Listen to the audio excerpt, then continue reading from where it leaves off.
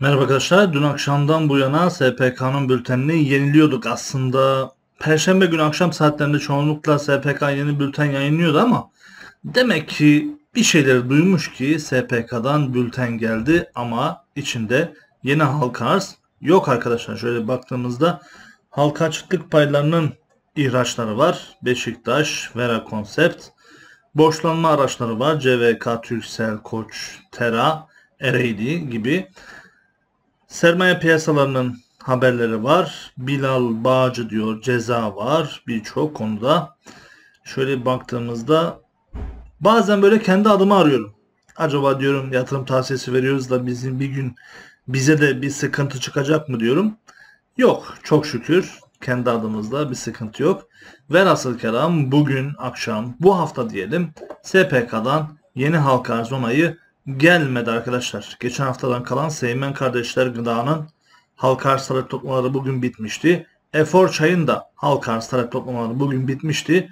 Bakalım sonuçlar ne zaman açıklanacak? Bakalım yeni halka arz gelecek hafta.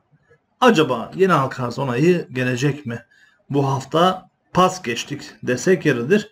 Büyük bir ihtimal pazartesi günü de belki hafta sonu bir sürpriz olabilir. Seymen kardeşler ve Efor Çay'ın sonuçları açıklanabilir. Büyük bir ihtimal pazartesi günü yeni halka arzların sonuçları da açıklanır arkadaşlar. Bu hafta SPK'dan yeni halka arz onayı gelmedi. Bu hafta biliyorsunuz bir de biz bugün öğlen saatlerinde gri listeden çıktık. Çok şükür dedik. Hani dedik borsada bir yükseliş olur dedik. Bir kıpırdanma olur dedik.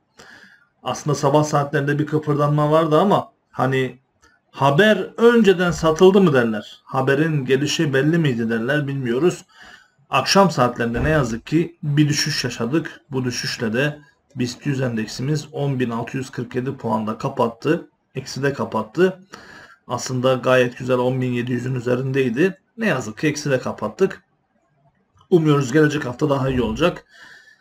Velhasıl kelam dememiz odur ki SPK'dan yeni halka arz onayı gelmedi. Yeni bülten geldi. Yeni halka arz onayı yok arkadaşlar. Şöyle baktığımızda halka açıklık paylarının pay ihraçları var. Beşiktaş ve Vera Konsept. Bakalım gelecek hafta ne olacak. Biz buradayız. Görüşürüz arkadaşlar.